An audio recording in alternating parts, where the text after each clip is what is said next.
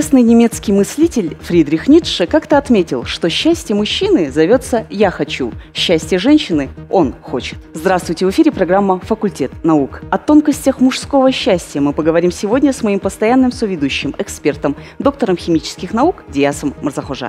Здравствуйте, сегодня мы постараемся разобраться, что же такое мужское счастье.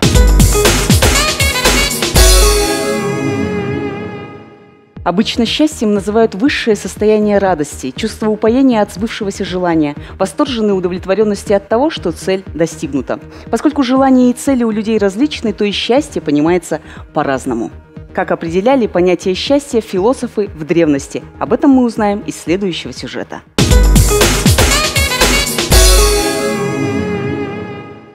Понимание счастья чаще всего зависит от представлений природы человека, смысла его жизни, назначения, от эпохи и культуры. Так как представления эти всегда были различными, то и счастье трактуется неоднозначно. Философское толкование счастья имеет место со времен античной истории, где существовало два основных представления об этом чувстве. Первое. Гедонистическое направление, или еще его можно назвать субъективным, говорит о счастье как о сиюминутном наслаждении чувственной радости. То есть удовольствие есть мотив и цель всего поведения человека.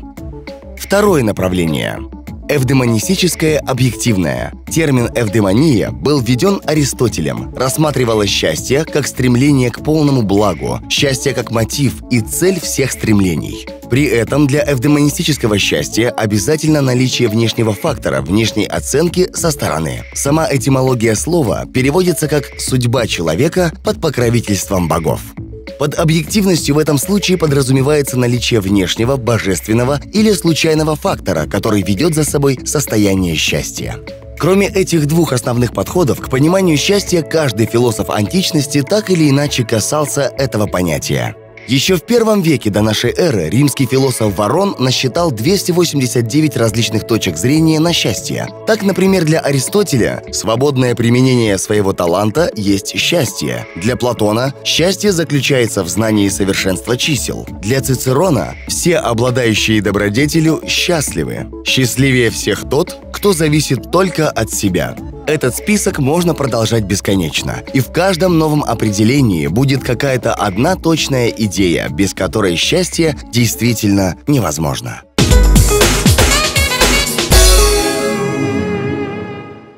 Каждый человек имеет свое представление о счастье. Для одних это материальное благополучие, для других – наличие смысла в жизни, для третьих – это сочетание множества различных факторов – положительных эмоций, межличностного общения и здоровья.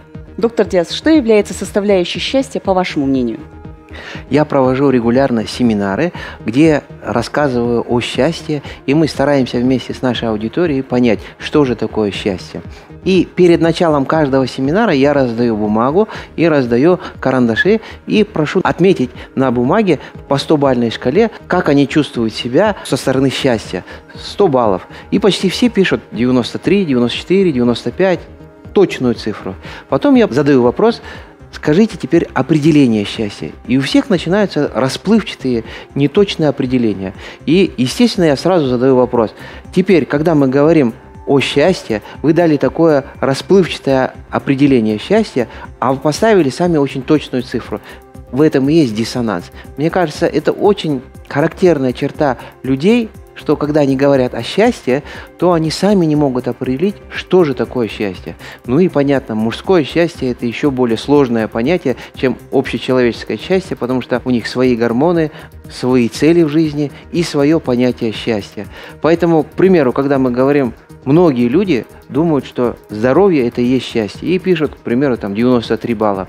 Я всегда задаю вопрос, если вы поставили 93 балла, вы основываетесь на чем? На том, что ваш последний биохимический анализ крови, ваш последний медосмотр говорит о том, что вы на 93% здоровы? Мне кажется, что многие люди тоже не понимают, что такое здоровье. Потому что если вы пройдете тщательный медосмотр, если вы узнаете свой биохимический анализ крови и вместе со своим лечащим врачом начнете изучать свое же здоровье, то вряд ли многие люди смогут поставить себе здоровье около 90 и выше. Поэтому, конечно же, Счастье – понятие расплывчатое. Каждый определяет для себя сам. Но я бы придержался бы, конечно, бы все-таки понятия, которое есть у Организации Объединенных Наций. У них есть 33 общих понятия счастья, 33 индикатора счастья. Вы можете зайти на сайт и посмотреть, что такое Gross National Happiness. Это целая состояние счастья человека. И вы увидите, что о здоровье там только 4 индикатора из 33. А в основном это работа правительства, окружающая среда, состояние семьи. Когда мы начинаем ставить, к примеру, по той же методике каждому из индикаторов по 3 балла максимум, то у людей выходит максимум от 20 до 60 баллов. Поэтому говорить, что счастье – это простое определение или что-то такое, что можно определить буквально чувством душевным, порывом, то, конечно, такое невозможно сказать. Счастье – понятие сложное, оно зависит не только от человека самого, в том числе и мужское счастье, но и от той инфраструктуры и от того окружения, которое его непосредственно окружает и ежедневная та среда, с которой он сталкивается. Поэтому невозможно быть счастливым отдельно взятому человеку, в том числе и мужчине. Какие обстоятельства могут сыграть особую роль для того, чтобы мужчина был счастлив? Многие думают, что счастье в деньгах. Чем больше денег у человека, тем более счастливый он. Хотя все последние психологические и биохимические исследования показывают о том, что, конечно, Деньги очень важны для человека, но стоит достигнуть какого-то среднего уровня, после этого уже нет ощущения, что ты вместе с каждым миллионом тенге или миллионом долларов становишься адекватно счастливым. Такого нет.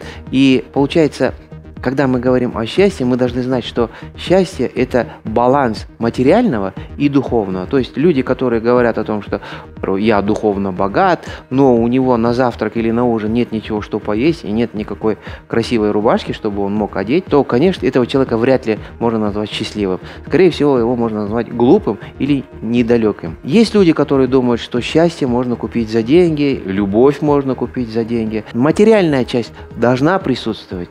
Без нее никак нельзя. Но в то же время должен, должен быть находиться у каждого взрослого мужчины, у каждого человека. Все должны знать, что должен быть баланс между духовным и между материальным. И вот именно в нахождении этого баланса и есть счастье человека.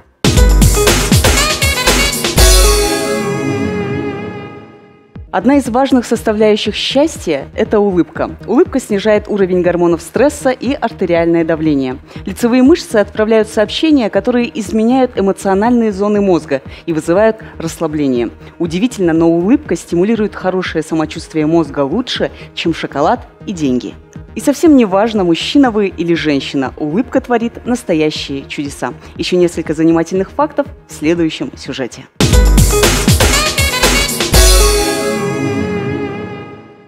Наши предки обнажали зубы, стараясь отпугнуть врагов. Сегодня мы улыбаемся, потому что нам хорошо и комфортно. И чем шире улыбка, тем более радостней она кажется. Предлагаем вам подборку занимательных фактов.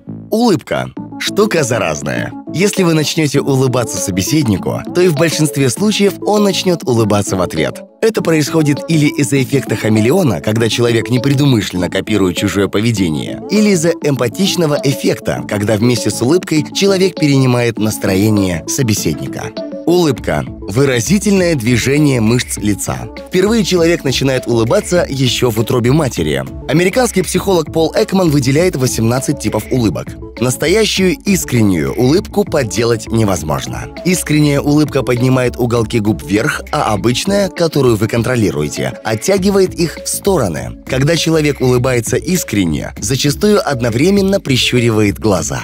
Настоящую улыбку и поддельную контролируют разные участки мозга. Искренняя улыбка вызывает у человека подсознательное доверие к собеседнику и длится в среднем 4 секунды.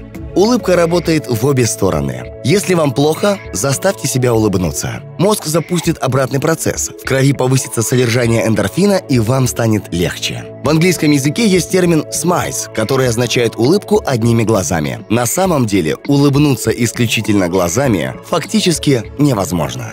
Улыбаться в два раза проще, чем хмуриться. Только улыбка может заставить ваше тело использовать до 53 мышц одновременно, хотя некоторые виды улыбок обходятся пятью.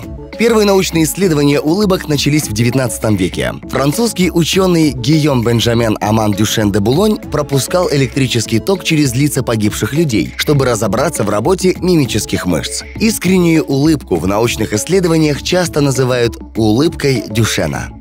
Специалисты Калифорнийского университета доказали, что младенцы улыбаются только тогда, когда есть шанс, что им улыбнутся в ответ. В большинстве стран мира улыбка считается признаком доброжелательности. В США улыбка является жестом вежливости и далеко не всегда выражает искреннюю радость. В некоторых восточных странах улыбка может означать победу над трудностями и крепость духа. В Японии, к примеру, могут улыбаться даже на похоронах. Тем самым человек подчеркивает, что он с мужеством переносит потерю. Женщины улыбаются чаще мужчин. Люди, которые часто улыбаются и смеются, отличаются большим долголетием. Это связано с тем, что улыбка улучшает циркуляцию кислорода и артериальное давление. До сих пор ведутся споры, умеют ли животные улыбаться. Некоторые ученые утверждают, что улыбки зверей всего лишь иллюзия. Наш мозг сам дополняет увиденную картину, делая ее более понятной. Улыбка является наиболее узнаваемым выражением лица. Люди могут распознать улыбку на расстоянии до 100 метров, что делает ее самым легко узнаваемым выражением лица. Улыбка усиливает вашу иммунную систему. Ваше тело более расслаблено, когда вы улыбаетесь, что способствует хорошему здоровью и укреплению иммунной системы. Улыбка – это универсальный признак счастья. Несмотря на то, что рукопожатие, объятия и поклоны имеют различные значения в разных культурах, улыбка известна во всем мире и во всех культурах как признак счастья и одобрения.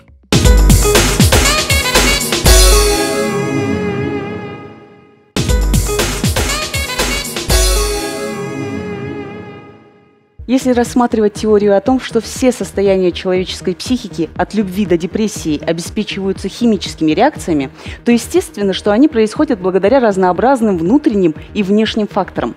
Поэтому однозначного ответа на вопрос, от чего зависит счастье, от внешних обстоятельств или от внутренней химии, нет. Говоря о биохимии мужского счастья, какие основные элементы вы бы выделили?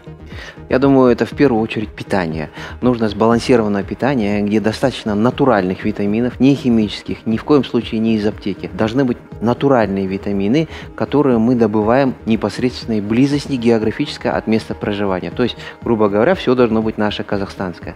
Потом должно быть обязательно баланс жирной диеты, белковой диеты и клетчатки. То, что мы говорили в разных наших передачах. Без этого никак нельзя. Ну и в то же время не увлекаться углеводами. Человек, особенно мужчина, когда он, у него есть лишний жир в неправильных местах, которые не должны быть у него, если он потребляет, к примеру, пиво, квас или много дрожжей, то у него накапливается эстроген, и он становится меньше мужчиной. А для того, чтобы он был более счастливым, у него должно быть много тестостерона. А чтобы был тестостерон, он должен кушать в первую очередь белковую пищу и жирную пищу. Но при этом обязательно должен, конечно же, соблюдать, во-первых, норму, и, во-вторых, обязательно должен заниматься физической культурой. Толстый мужчина не может быть счастливым. Это уже с точки зрения биохимии. Я бы хотел э, обратить внимание на два важных гормона. Это норадреналин и кортизол важно держать их количество в норме. То есть ни в коем случае очень сильно не переживать.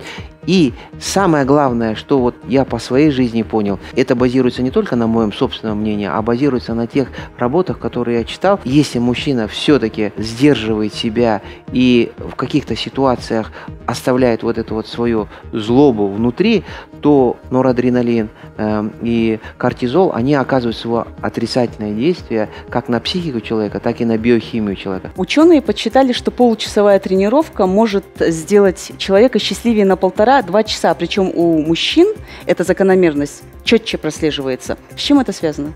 Это связано с нашим гормональным фоном и той задачей, которую природа предопределила для нас. Все-таки, если мы говорим о природе происхождения мужчины и женщины, женщины, как правило, сидели дома, как правило, занимались собирательством, то есть э, или домашним хозяйством. А на мужчине лежала задача добывать мясо, добывать еду э, и охранять э, свое жилище. Вот эти же задачи, в принципе, сегодня до сих пор и лежат на счастливом мужчине. Если мужчина хочет быть счастливым, он должен выполнять эти обязанности.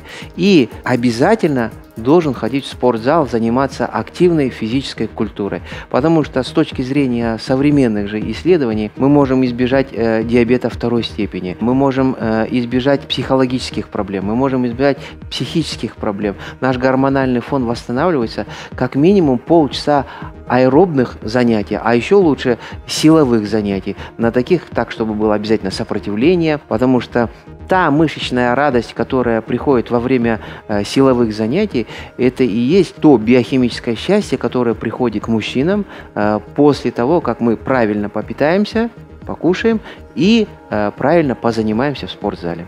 Согласно последней статье, которая опубликована в журнале Journal of Strength and Conditioning Research, мы можем сказать, что та же спортивная активность, она действует и на твою привлекательность, действует на то, что даже как ты спишь, потому что те мышцы, их тонус помогает нам спать не храпя и помогает нам правильно и хорошо выспаться за те 7 или 8 часов, которые нам минимально мы должны, наверное, все-таки высыпаться. Хотя, конечно, это тоже зависит от индивидуальности человека.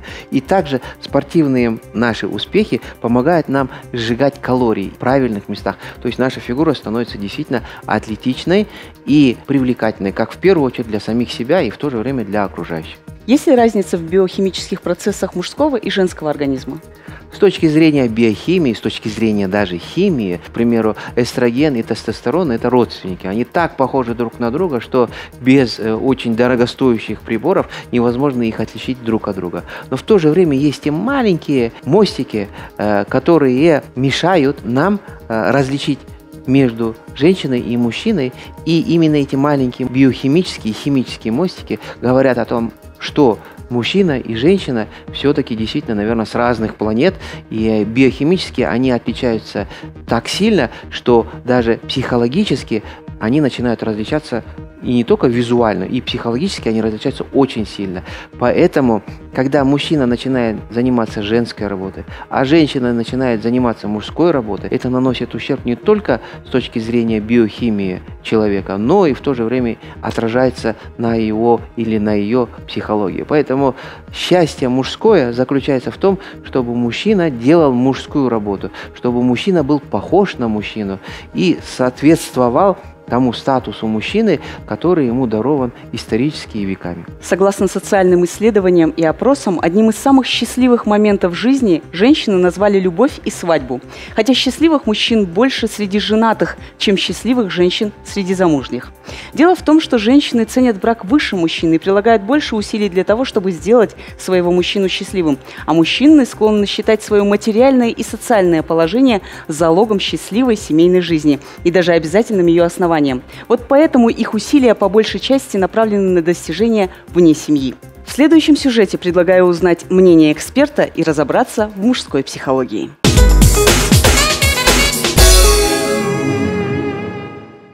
Кто такой мужчина и с чем его едят? Как же понять среднестатистическое вымирающее существо, носящее брюки и бреющее бороду? На этот и другие вопросы ответит нам эксперт, психолог и просто хороший человек Дмитрий Архипов. А, это а, признание мужчины мужчины. Что ты мужчина, если ты сказал так, значит так. Если сказал нет, значит нет. Вот, вот когда женщина научится тотально принимать мужское «да», «да», а «нет», «нет», то тогда это один из таких главных постулатов. Второе – это признавать ну, вот это близкое понятие решение. То есть, если мужчина принял это решение, то я его не оспариваю. Мужчина и женщина – это две разные планеты. Когда они начинают вращаться на одной орбите, происходит столкновение. Таковы законы гравитации, которые действуют не только в астрономии, но и в жизни. И тогда мы вспоминаем различия между мужской и женской психологией. Женщина – это скорее, мы можем представить в виде метафоры, это вода. Вода, она просто разливается, либо э, женщина – это земля, которая просто произвращает, просто творит и все, не требуя ничего. В отличие от мужчины, то мужчину мы можем представить в виде метафоры кувшина, то есть это некая четкая структура, это логика, это четкие определенные формы. И поэтому э, если переходить уже вот именно в взаимоотношения мужчин и женщин, то когда встречается мужчина и женщина, то женщина э, следует принять ту форму, которая является мужчиной. И тогда эта семья будет, э, либо пара, очень счастлива. То есть, когда никто никого не меняет, просто все понимают, что я вода, достаточно, я растекаюсь, а ты мужчина, твоя задача меня собрать и держать. А задача женщины наполнить мужчину. То есть мужчина, он по сути вроде бы кувшин, но он пустой. И вот за, и это пассивная составляющая. Вода, она движение, она постоянно течет. Кувшин он просто стоит. Вот если разбирать мужчину и женщину, то мужчина это пассивное существо, а женщина это активное существо. И задача женщины это активизация мужчины. Практически все женщины хотят, чтобы мужчина, который находился рядом, был счастливым. Тогда что же нужно представителям сильной половины, чтобы в полной мере наслаждаться своей жизнью? Но если мы сделаем ставку на мужчине, то что нравится мужчине? Мужчине нравится, когда он признан в этом обществе. То есть, когда, ну, если брать такую вот классическую модель пирамиды Маслоу, да, это четвертый уровень, что есть некоторое признание того, что он чего-то достиг, чего-то добился. Для мужчины очень важно чего-то достигать. А для мужчины очень важна социальная сфера, в которой он себя реализует. Ну, это уже такой вот пятый уровень по Маслоу, это самоактуализация, самореализация. То есть, когда мужчина а, достигает а, своих целей. Безусловно, понятие счастья у каждого свое. Кто-то видит его в сытой и спокойной жизни, а кто-то в вечном поиске борьбе. Более того, у счастья нет устойчивого состояния, оно подвижно и изменчиво, как сама жизнь.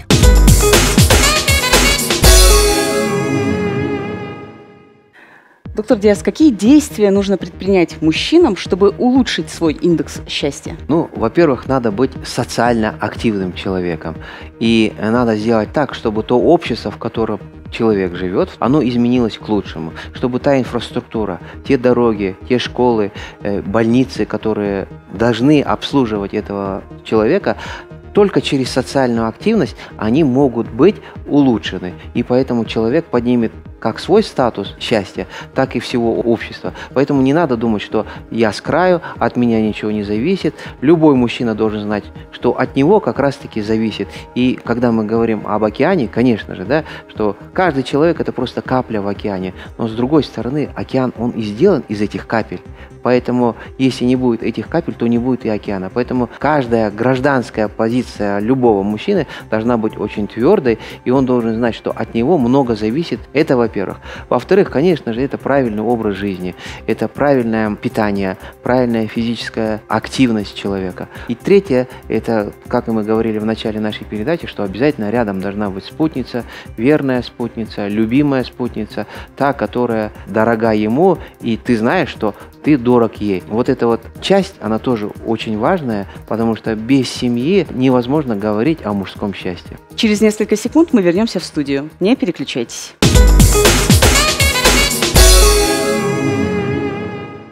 Существует расхожее мнение, что если женщины хотят любви, то мужчины предпочитают интимную близость. А какие составляющие мужского счастья могут назвать жители нашего города, узнаем из следующего сюжета.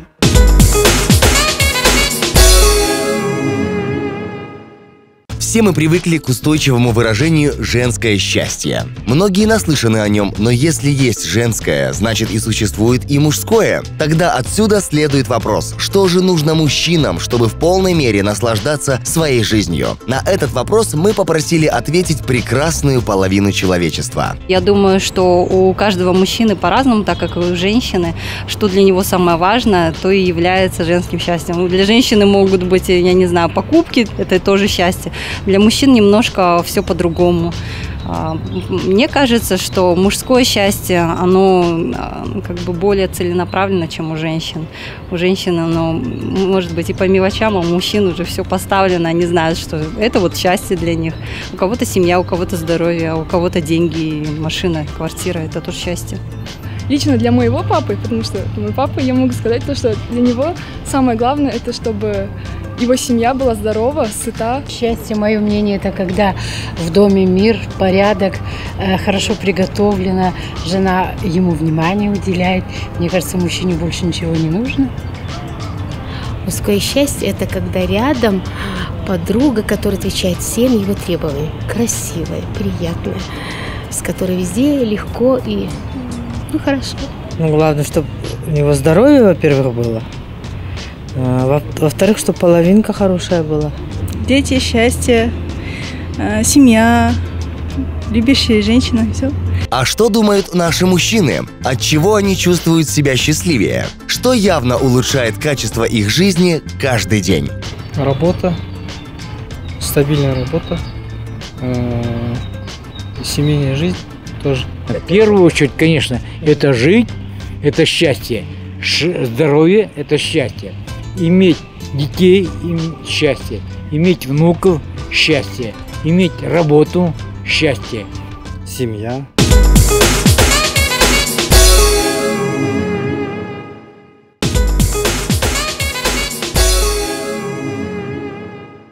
На Западе ученые любят проводить различного рода исследования. Например, что касается вопросов секса для мужчин, были проведены исследования, многие ли мужчины считают себя счастливыми в браке, и каков возраст наиболее счастливых из них.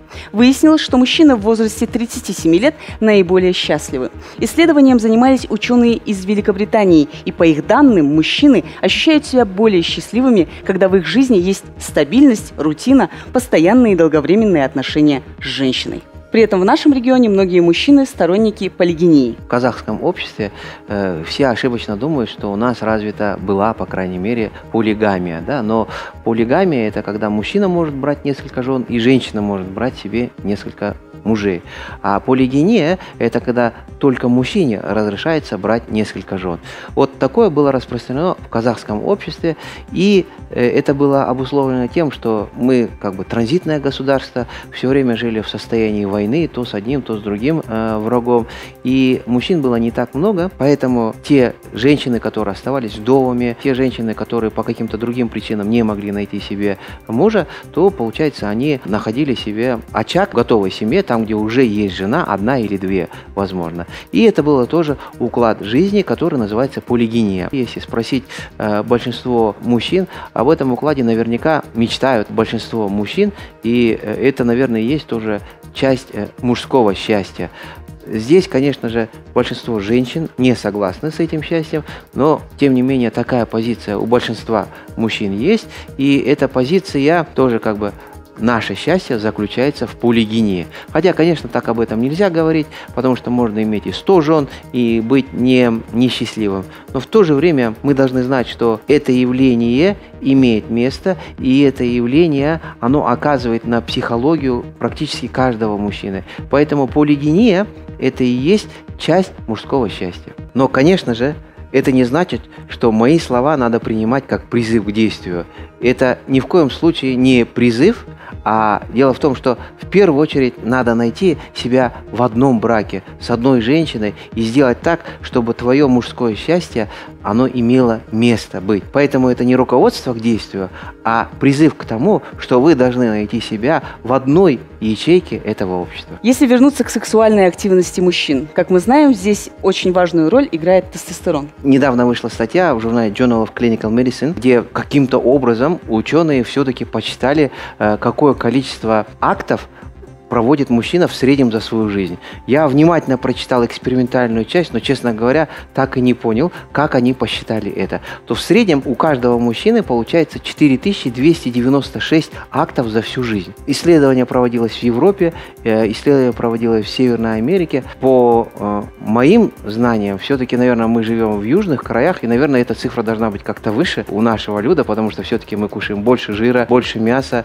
и это должно сказываться на уровне тестостерона тестостерона на уровне активности каждого мужчины, который проживает в нашей географической части и поддерживает вот ту диету, которая была у нас веками. Как бы часто э, вы не занимались этим со своей женой, важно здесь не количество, а важно качество. Поэтому, если даже мы будем ориентироваться на эту публикацию, то мы должны знать, что количество э, этих актов, оно ограниченное. Поэтому надо ценить каждый из этих актов. Для чего? Для того, чтобы запомнить и чтобы это было действительно событием в жизни каждого мужчины и сделало каждого мужчину более счастливым. Когда мы говорим о тестостероне, мы должны знать, что у толстых, жирных мужчин, которые обладают э, более этой жировой массой, у них тестостерон очень низкий. То же самое можно сказать при очень худых людей, потому что худые мужчины, они потребляют мало жира, потребляют потребляют мало белков и очень мало углеводов. Поэтому чисто с биохимической точки зрения тестостерону не из чего создаваться, то есть нет химической реакции. Поэтому здесь важно очень середина. Во-первых, это диета, правильная диета, насыщенная белками животного происхождения. Поэтому, к сожалению, вот у тех же вегетарианцев большие проблемы с тестостероном, потому что у них нет достаточного животного белка. И также мы говорим о том, что должны быть насыщенные жиры. Когда мы говорим о тестостероне, насыщенные жиры, не ненасыщенные, не полиненасыщенные, а должны быть именно насыщенные жиры, то есть то, что есть в бараньем жире и то, что есть в конском жире в первую очередь. Также мы должны знать, что очень долгое воздержание тоже вредит для человека, для мужчины, поэтому здесь тоже очень важна активность, и э, активность, она важна не только с точки зрения воспроизводства тестостерона и э, получения какого-то удовольствия, но мы должны знать, что тоже рак простаты происходит из-за чего? Из-за того, что застой как раз в области простаты, а застой не бывает только тогда, когда ты ведешь регулярную половую жизнь. Хочу сказать, что э, высокий уровень тестостерона, он никак не влияет отрицательно на мужчину, и здесь бояться нечего. Низкий уровень тестостерона – это, конечно же, проблемы сразу же и с удовольствиями, и с мужским счастьем, но и в то же время проблемы с онкологией возникают. Эти люди, у которых низкий тестостерон, к сожалению, они более подвержены онкологическим заболеваниям. По данным статистики Всемирной организации здравоохранения, во время секса умирают ежегодно 50 тысяч человек. И в большинстве случаев эта статистика касается именно мужчин. Их число составляет 90%. Любопытен факт, что 75% случаев этих смертей происходят в моменты измены женам. Врачи подчеркивают, опасность летального исхода у мужчин выше, чем у женщин на 20%. И основная причина таких случаев кроется в состоянии кровеносно-сосудистой системы людей. В следующем сюжете вас ждет экспертное мнение о мужской силе и здоровье мужчины.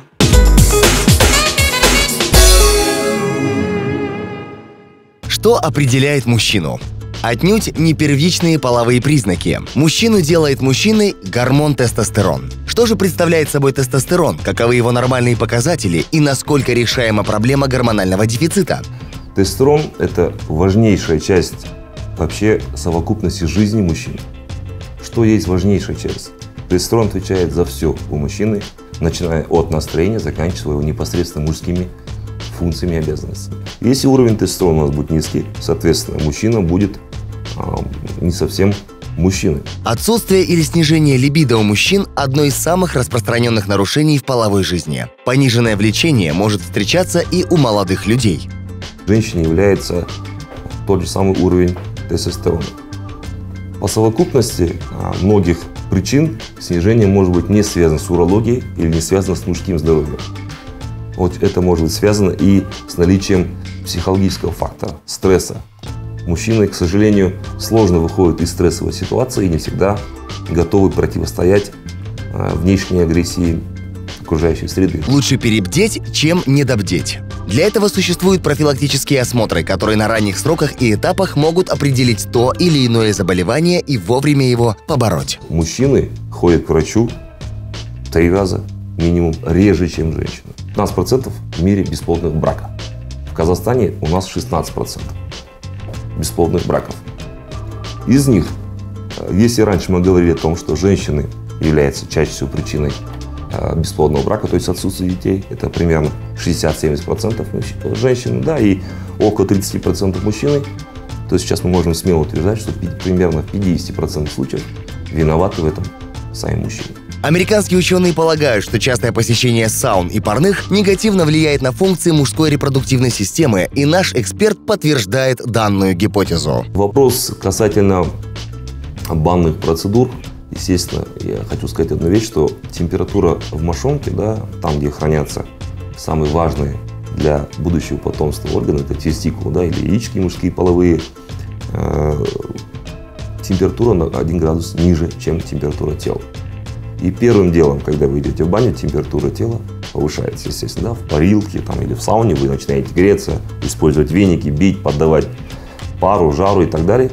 При любой температуре выше, а, допустим, 38 градусов, если нагревается, да, ваша мошонка и органы, находящиеся в них, тестикулы, подвижность и качество сперматозоидов, которые находятся там же и там же созревают, там образуются, резко снижается.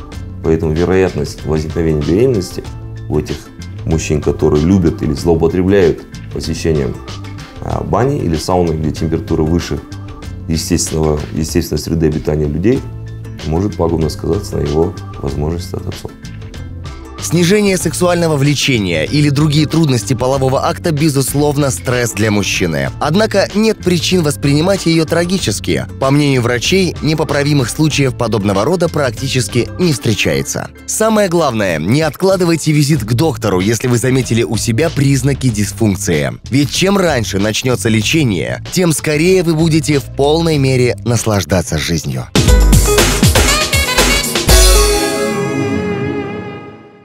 Некоторые утверждают, что счастье так заразно, что мы можем даже подхватить его через социальные сети. Впрочем, как и грусть. Это подтверждает и совместное исследование Гарвардской медицинской школы и Университета Калифорнии в Сан-Диего по результатам которого выяснилось, что счастье в какой-то мере зависит от людей, которых вы знаете, и людей, которых знают они. Правда, я все же придерживаюсь мнения, что счастье в руках самого человека.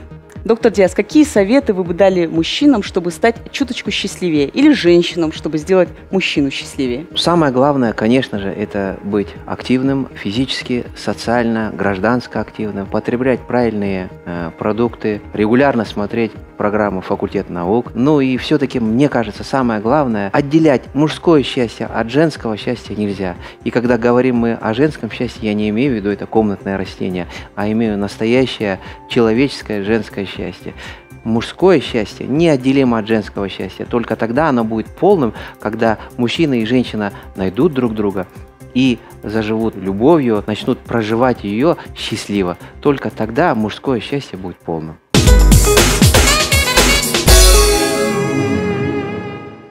Счастье – это ритуал, который нужно определить, создать и поддерживать. Дорогие мужчины, умейте быть счастливыми уже сегодня. На пути к цели, к мечте не надо забывать, что счастье – это сама жизнь. А я от всей души хочу пожелать мужчинам настоящего мужского счастья и чтобы все мужчины были счастливы рядом с женщинами. Смотрите нас каждое воскресенье на телеканале Хит ТВ. До новых встреч!